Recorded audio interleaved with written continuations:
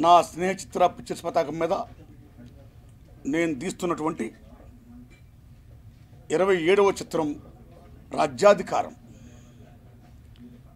ఈ సినిమాను ఫిబ్రవరి రెండుని ఖమ్మం జిల్లా పాండురంగాపురంలో షూటింగ్ మొదలుపెట్టామండి. అక్కడ నుంచి పాల్వంచ పాండురంగాపురం సీతారాంపట్నం కొత్తగూడెం ఆ పరిసర ప్రాంతాల నుంచి చేసుకుంటూ అప్ టు మార్చ్ ఎండింగ్ వరకు తూర్పుగోదావరి జిల్లా శ్రీకాకుళం జిల్లాలో కూడా షూటింగ్ చేసి మొత్తం షూటింగ్ కార్యక్రమాలు అయిపోయాయండి. ఆ షూటింగ్ టైంలో ఆయా ప్రదేశాల్లో స్థానికంగా ఉన్న పెద్దలు ప్రజలు ముఖ్యంగా సింగరేణి కాలనీస్ చైర్మన్ భట్టాచారి గారు మహేష్ గారు వారందరూ అందించిన సహాయ సహకారాలు అక్కడున్న ప్రజలు సహా అందించిన సహాయ సహకారాలు నా జీవితంలో ఇప్పుడు మర్చిపోవాలనండి వారందరికీ నా హృదయపూర్వక ధన్యవాదాలండి. ఇప్పుడు డబ్బింగ్ కూడా అయిపోయిందండి. రీ రికార్డింగ్ జరుగుతుందండి. అన్ని పనులు చూసుకొని ఈ మే ఎండింగ్ని సినిమా రిలీజ్ చేయాలనే ప్రయత్నంలో ఉన్నానండి. ఇక ముఖ్యంగా ఈ కథ రాజ్యాధికారం అంటే పవర్ పవర్ పవర్. అధికారం కోసం ఇవాళ కొద్దిమంది స్వార్థపూరిత రాజకీయ శక్తులు క్షుద్ర రాజకీయ శక్తులు ఎవరైతే ఉన్నారో వాడు ప్రజల జీవితాలతో ఎలా ఆడుకుంటున్నారు? అధికారంకై ఎలా ఎత్తులు జిత్తులు వేస్తున్నారు? అక్రమ పొత్తులు పెట్టుకుంటున్నారు? ప్రజలకిచ్చిన వాగ్దానాలను మర్చి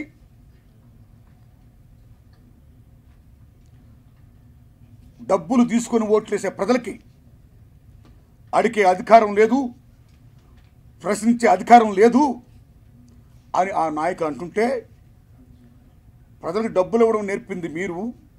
అయినా సరే అందరు ప్రజలు మీరు ఆ ఘాట కట్టొద్దు. ఎలాగైతే రాజకీయ నాయకుల్లో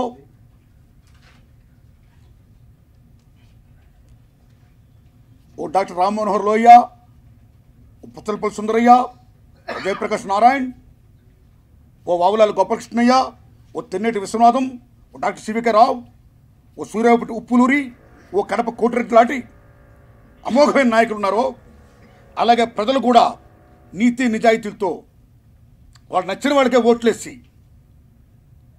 ఈ ప్రజాస్వామ్య మనుగడకి పునాదులు వేస్తున్న ప్రజల్ని మీరు రక- ఆ రకంగా అండం సబబు కాదు అని రివోల్ట్ అయ్యి ప్రజలకు ఇచ్చిన వాగ్దానాలు మరిచిన ఈ క్షుద్ర రాజకీయ శక్తుల్ని అక్రమ పొత్తులు పెట్టుకున్న ఈ క్షుద్ర రాజకీయ శక్తుల్ని ప్రజలు క్లైమాక్స్లో ఏం చేశారనేదే ఈ సినిమా రాజ్యాధికారం అండి. ఇవాళ రాజకీయ మార్కెట్ అయిపోయింది. ప్రజాస్వామ్యం ధనస్వామ్యం అయిపోయింది. ప్రజాస్వామ్యం తిట్లస్వామ్యం అయిపోయింది. సో రాజ్యాంగం కల్పించిన హక్కులు ఏమైతే ఉన్నాయో ఆ హక్కులన్నింటినీ కాలరాస్తూ కేవలం డబ్బు డబ్బు డబ్బు డబ్బు. రాజకీయం అంటే అధికారం ప్లస్ రాబడి. అధికారం ప్లస్ రాబడి ఇది కూడా రాజకీయం అయిపోయింది ఇవాళ. అంటే power politics game politics and money politics are playing in our country అది చాలా దుర్మార్గం.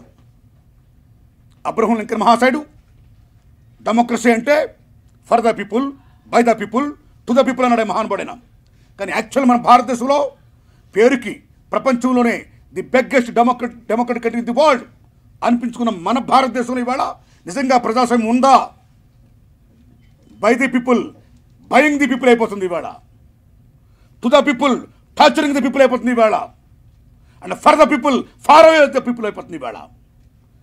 That is the fate our country and our democratic setup setup and system in our country so దీన్ని నేను ప్రశ్నిస్తూ ఒక కళాకారుడుగా రాజ్యాధికారం కోసం ఈ నాయకులు వేసే ఎత్తుల్ని పొత్తుల్ని ఎండగడుతూ ప్రజలు చేసే తిరుగుబాటే నా సినిమా అండి. అదే రాజ్యాధికారం అండి. దిస్ మై ఫిల్మ్ అండి. నేను నాయకుల్ని ప్రజల్ని విజ్ఞప్తి చేసేది ఏంటంటే ప్రజాస్వామ్యం పునాదులని చాలా గొప్పవి గట్టివి. అటువంటి ప్రజాస్వామ్యాన్ని పరిరక్షించాల్సిందిగా అటు నాయకుల్ని ఇటు ప్రజల్ని నేను ఇష్టం ద్వారా విజ్ఞప్తి చేస్తున్నానండి. మనం తల్లిదండ్రులపైన విశ్వాసంతో పూజిస్తాం. గురువుపై నమ్మకంతో ఆరాధిస్తాం. దేవుడిపైన భక్తితో దండం పెడతాం. అలాగే నాయకుడిపైన విశ్వాసంతో మనం నాయకుడు మన ముందుంటే మనం నడిచి వెళ్ళాలి. నాయకుడు మనకి మార్గదర్శనం వహించాలి. నాయకుడి పైన ప్రజలకు విశ్వాసం ఉండాలి. ప్రజలపైన నాయకుడికి విశ్వాసం ఉండాలి.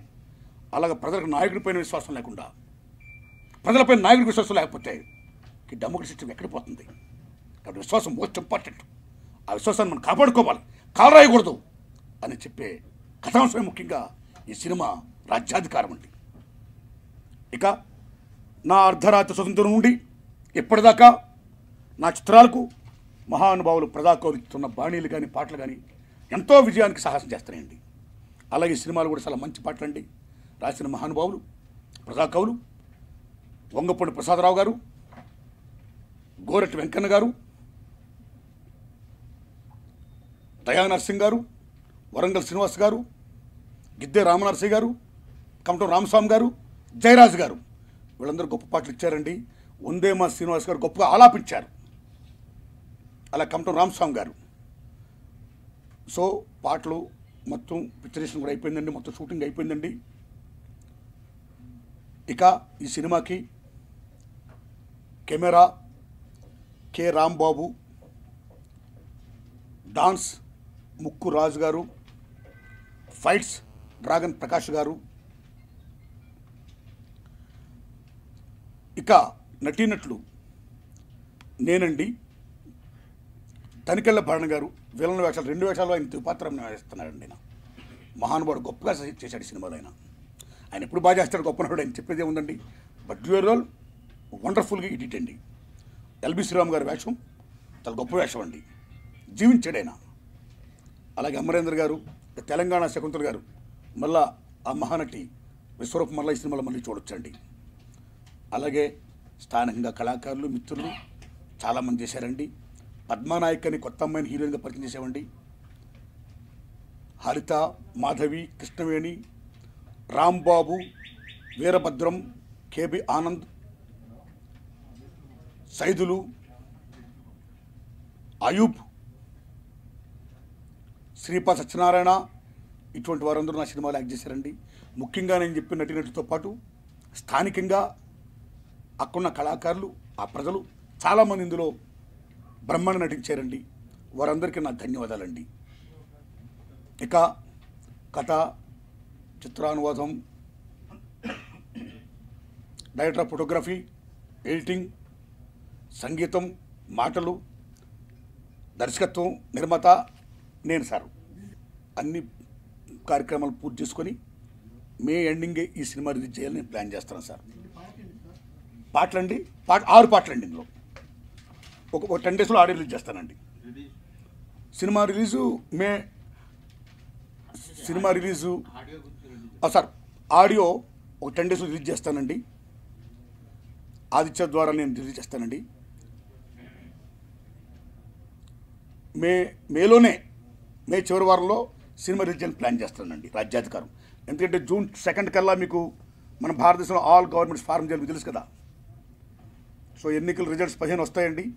తర్వాత మొత్తం చూసుకోవడం జూన్ సెకండ్ లోపల మొత్తాన్ని ఫార్మ్ చేయాలి. ఆ లోపల నా సినిమా చేయాలని నేను కృషి చేస్తున్నాను సార్. నా దారిలో నా దారిలో నీ దారి నా దారి పోరు దారేరో దచ్చ నా దారిలో. దచ్చ దారిలో దచ్చ దారిలో నీ దారి నా దారి పోరు దారేరో దచ్చ దారిలో. Thank you